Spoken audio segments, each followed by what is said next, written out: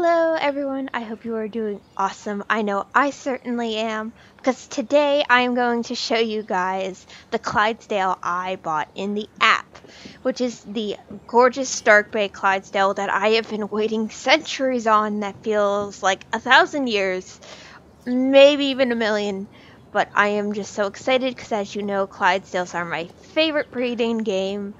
Uh, and I'm very excited to show him to you guys because I absolutely adore him. So let's go.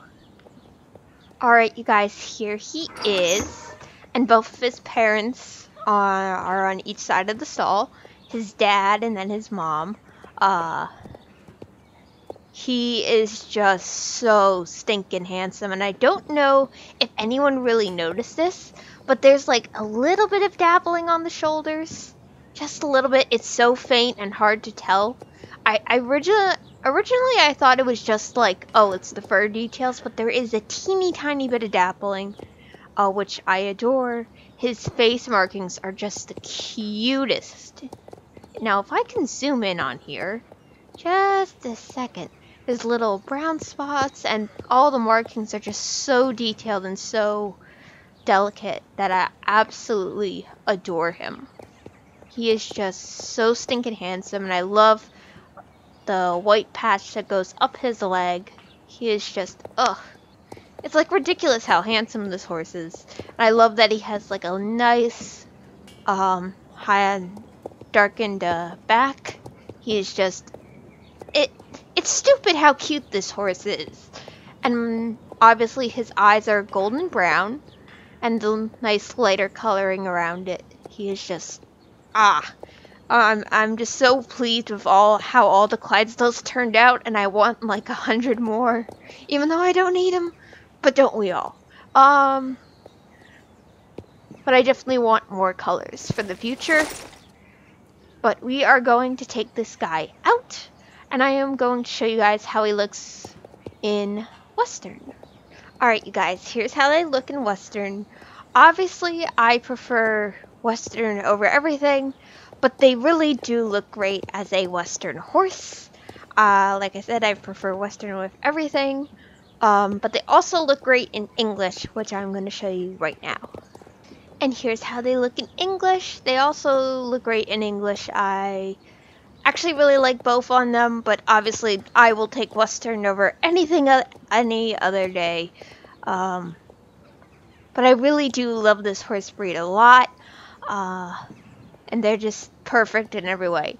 So now I'm going to show you guys some footage of him. Uh, so enjoy that, and I will see you all in a minute.